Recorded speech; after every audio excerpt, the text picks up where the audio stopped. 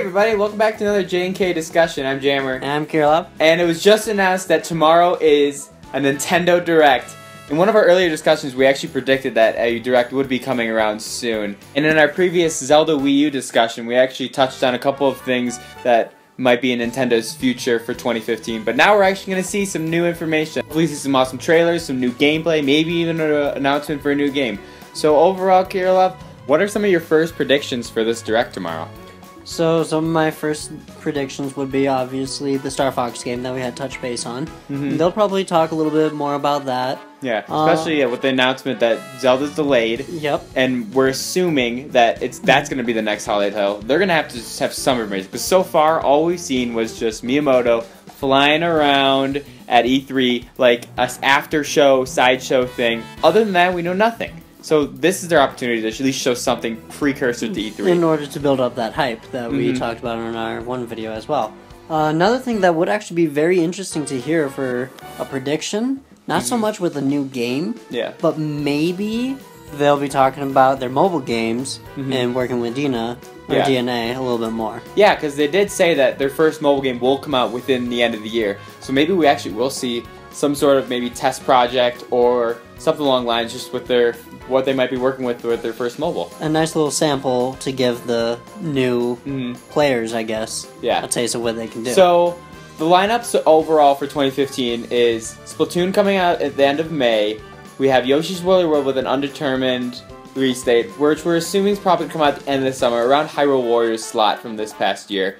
And then we also have uh, Star Fox coming out, which we're thinking is going to be holiday. And then there's also Mario Maker, which that might be. I'm not sure where you, that's going to be. That might be at the beginning of the summer. That that's just like one of those weird games. That's like it might not even be a full retail game. It might be one of the discount titles, the forty dollar. Where do you think that one's going to land? Uh, that'd be an interesting one. I could see it landing around the forty dollar mark. Mm-hmm. I mean, maybe they bump it down to thirty five or yeah. wherever. Where do, do you think it'll be in the summer? When do you think it's gonna like release, or uh, or do you think we'll even see it in this direct? It'd be interesting. I mean, they might touch a little bit on it in the direct, but I don't feel like it's gonna be their number one priority. Yeah. Uh, Mario, as we all know, Nintendo loves it a lot. Mm-hmm. Uh, I can't remember where it was, but I did actually see a prediction about a possible new Paper Mario as well. Yes, there was that leak or supposed leak about yep. the Paper Mario Thousand Year Door 3D, which don't get me wrong, I would seriously go nuts for that game. That is honestly my favorite game of all time. I will go on record saying it. And if they made a 3D version, I would for sure just run up the store, hand them my money. I'd be so happy. But as far as Mario Maker goes, ever since E3 and it's announced we, in each uh, Nintendo Direct, we've seen just a little bit of clip bits of some maybe new uh, tools and stuff like that that they've incorporated in the game. So maybe in this Direct, we'll also see some more maybe skins for items or little level designs. Maybe they'll show that you can make underwater levels or something because like so far they have been showing each little bits of uh, information about the game, and I know a lot of people are actually really excited about it. So I think it will definitely see appearance. We'll see maybe like a two minute or so little montage of just some of the new features that I haven't announced yet.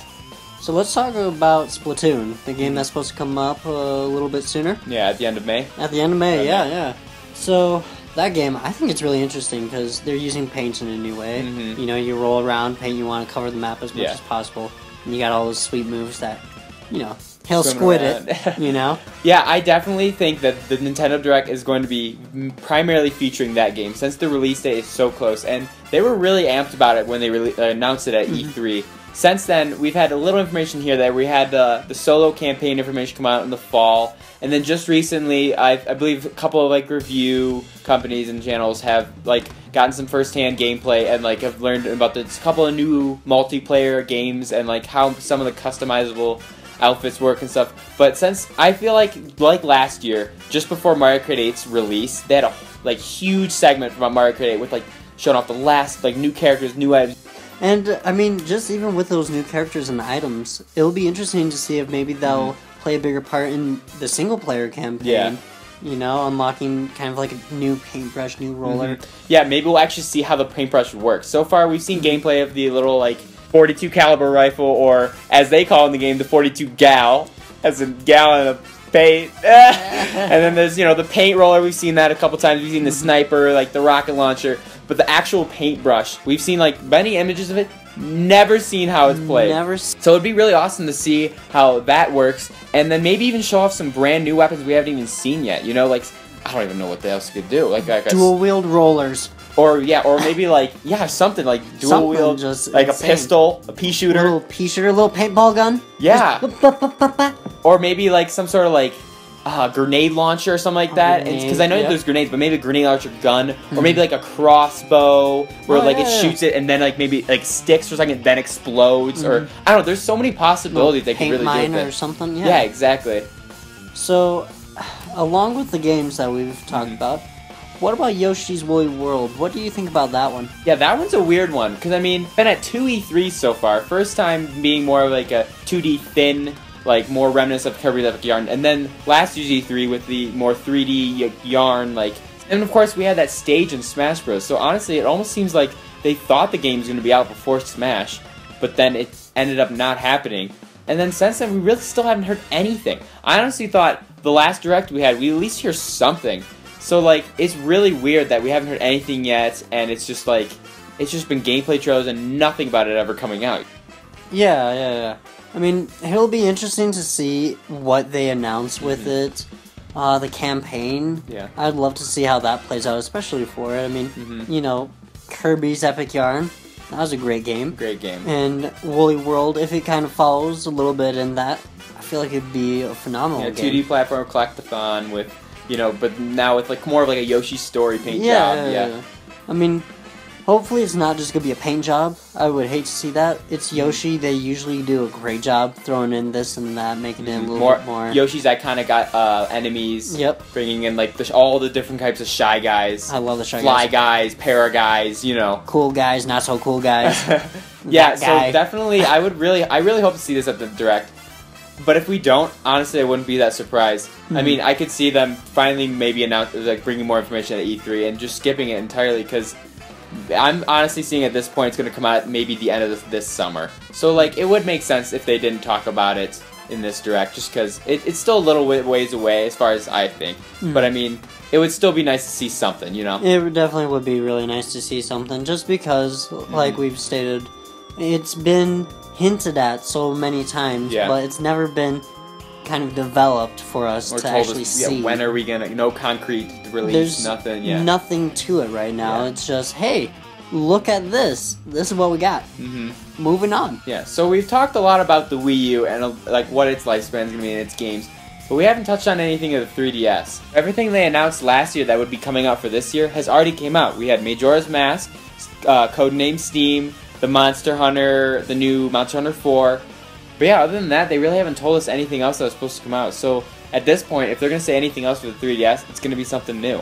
Yeah, yeah, definitely. It'll have to be something new to keep the interest of the players and mm-hmm. just really to keep everyone engaged with it, especially since they just released the new system itself. Exactly. Oh yeah, then we had the Xenoblade 3D. That's yep. just about to come out, like next week or something like that. Yeah, very, very close. So I, out. yeah, my prediction is they're gonna show off some new games for the new 3DS, mm-hmm. like some more exclusive titles, which I don't really like that they're doing exclusives for the new 3DS. But in order to push that hardware, they, that's what they kind of need to do at this point. Mm-hmm. So it, I think that's what they're going to do. They're going to show some new 3DS games that'll be exclusive to that. Maybe show off a couple just that will be on both. But I think that's what they really need to do because the sales push for the new 3DS was it was decent enough, but it was it was kind of lacking for being a new hardware, you know. Well, yeah. Even with that though, when we were talking about our Zelda mm-hmm. uh, just, yeah. discussions, we were talking about possibly them releasing a new like mobile Zelda game for yeah, the a new DS. handheld, yeah. And it'd be interesting, especially with the C stick that they've got implemented on mm-hmm. it, to see how that could play out. And I feel like that would be a good move for them, even for a yeah. holiday release. Yeah, that would be really cool to see that. I'm not sure if we'll see that tomorrow. That much more E3 coverage, you know. That would be for. But I mean, road, it would yeah. be. Uh, it, I still think they're going to show something new for the 3DS. Mm-hmm. So, what do you think about maybe Metroid making a return?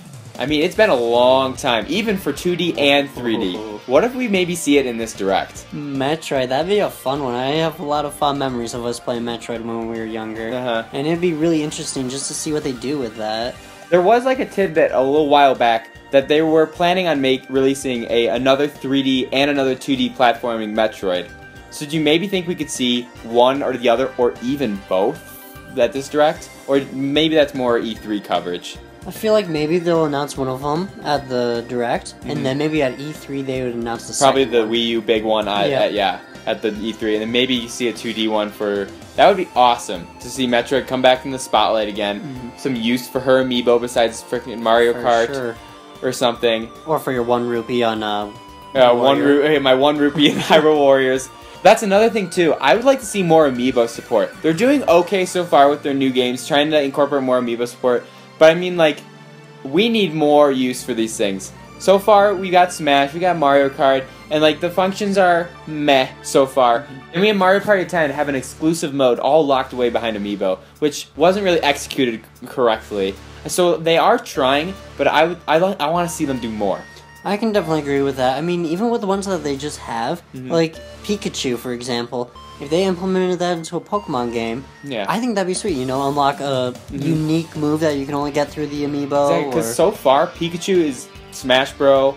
That's the only one it's like like actually meaningful for because you get Pikachu in the game. The rest is just like the random yeah. Hyrule Warriors weapon or you know yeah. So mm. so just with those characters, it's like I want to see them develop their amiibo more mm-hmm. through the games because I want to see Donkey Kong like do something amazing when I use it. besides just being a amiibo fighter in Smash. Yeah, I mean, I want to see Luigi, you know, do something epic in one of yeah. his games when yeah. I tap the amiibo on my console. Yeah, just a little bit more like oomph, a little oomph to spice things up. Exactly, human. But as far as Pikachu amiibo, maybe we could hear about Pokken Tournament. That's supposed to be an exclusive for an arcade in Tokyo. Mm-hmm. It's the to- uh, Tekken-styled Pokemon fighting game.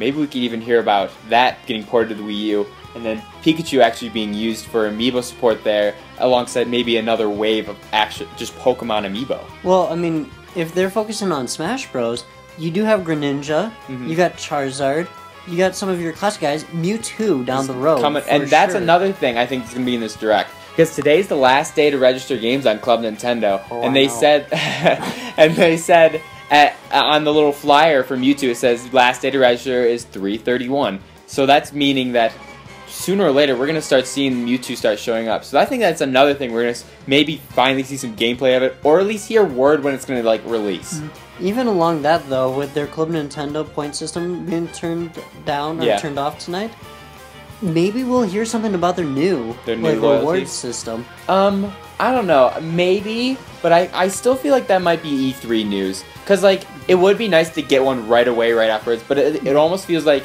I feel like there's gonna be a lull period where there's gonna be mm-hmm. no re- loyalty reward or anything. Because I mean, Majora's Mask and Kirby Rainbow Curse, like they didn't come with any registration code. So even for a new type of loyalty mm-hmm. thing, so like those games, you know, it would, it would, have no lull. But it would be smart to have it by the time Splatoon comes out. So at the exactly. same time, maybe that would be smart. Yeah, I mean, I could, if anything, I could see them saying, "Hey, this is kind of like a outline mm-hmm. of what we're going for. Yeah. So that way they can at least get feedback yeah. from people. I mean, now that I think about it, the day after Club Nintendo shuts down, them announcing what next, I mean, maybe that actually is kind of smart to announce mm-hmm. just a day after so fans know, hey, this is it. This is what we're doing. Yeah. Welcome I back. Mean, it'd be it'd be great because mm-hmm. you definitely get that point of like, oh, what do I yeah. do now? Yeah. And this will be that revitalization. This will mm-hmm. be the fairy that you found out you had in your pocket the whole time. Yeah. And then is another thing that's supposed to be coming out this spring alongside Mewtwo is the Mario Kart 8 DLC. I mean, once uh, within the coming weeks of the first pack coming out, we slowly got like a gameplay or a, track uh, gameplay clip of like one one lap here, one lap there, just like some of the in-game Mario Kart TV footage. And like I think that's about time to start seeing that now because the pack should be coming out any time now. Yeah, the pack definitely should be coming out soon, which is always fun. It's mm-hmm. exciting for players. And it will be interesting to see what they do with that. I mean, if they announce it tomorrow, yeah. it'll be, I think, amazing because yeah. it's not it's at that time where it should be announced. Yeah, it's spring. It's, it's spring. spring. Yeah. It is here. Yeah. Let's see something. Like even if they don't give an actual release date when mm-hmm. it's going to come out, maybe just one track clip. I, I, can definitely teaser. see that. Maybe even a teaser. I can definitely see uh, like Animal or Villager and Isabelle riding along in maybe just the Animal Crossing course. Mm-hmm. And then another thing, speaking of Animal Crossing, what about Animal Crossing Wii U? Animal Crossing Wii U. Big step from little village. I mean, so far, yeah, so far that's how the patterns went. Went console, mm-hmm. handheld, console, handheld. And granted, the con- or handhelds have always been more Uh, they've been more effective in my eyes. Yeah, and they've their sales numbers have been better. Always. But have. I mean, it's just how the pattern's gone. They already have all the characters modeled for the 3DS mm-hmm. or for the Wii U engine because of that one uh, eShop app, yep. the Animal Crossing message board or something like that. And I mean, they have the Villager amiibo. Granted, if you have it, don't open it. Do not open But like, amiibo. I mean, using those IP characters as amiibo, those is I would so buy Tom Nook and Tortimer and oh. the Able Sisters and Tortimer and Goldie. I would take advantage of Tortimer. You know, I would use my employee skills. You know, I mean, like I, that's an awesome franchise that definitely should mm-hmm. deserve immediate support, and it would work awesome on the Wii U. But so I don't know if it's going to be in this direct. Even, I feel like it's more. This is another thing that's going to be mm-hmm. more E3, but it would still be awesome to see it. It would be amazing to see it, even if for their amiibos you tapped it and even if it's just a trophy of Tortimer, mm-hmm. I'd be stoked. Yeah. Just to have like a little Tortimer in yeah. my house by the John or something, yeah, you know? great. And then a final thing I want to touch on about amiibos is maybe we'll see another wave of Smash Bros. amiibos. I mean, or release a annou- or announce release date for Wave Four. Because yeah, they definitely. did announce that at the beginning of the year, and we haven't heard anything since. Mm-hmm. So maybe we'll hear something when those will drop, and then maybe a hint at some new amiibo for Smash. I don't know. It might be too soon, but mm-hmm. we'll see. It'll be interesting to see later down the road for yeah. sure. All I know is I'm excited for this Nintendo Direct. Too bad we will both be at work when it drops, but we will make a discussion as soon as we can. Mm-hmm. So, is there any final thoughts you want to wrap this up with? Uh, final thoughts. Nintendo's got a lot that is being weighed down on them. They need to get their information out there. Mm-hmm. If they do plan on releasing Star Fox in December, then they really need to try to build up that hype right now. Yeah, better late than never. I mean, with the bombshell of dropping that mm-hmm. Zelda's not coming out, they need something to bring back their, I guess, investors and customers to say, it, Nintendo, we're not done for the 2015. We still have stuff Zelda's not our only game coming out, you know? Which is definitely one of the biggest things that a lot of the game companies have trouble with because it's been that awkward year where we've hit that somewhat of a pause button due to our new releases of consoles and mm-hmm. just even with new releases of titles and ideas. Yeah. So yeah, that, definitely this is just a good marketing strategy for Nintendo mm-hmm. to be releasing this right after Club Nintendo finishes,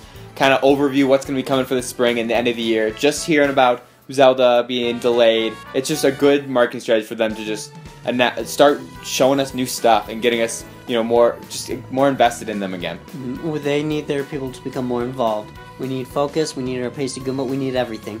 so if you like this video, be sure to like and follow us on Facebook and Twitter. Links in the description below. As always, give this video a like and a comment. We'd love to hear your input. Thanks for watching. Catch you in the next one. Bye.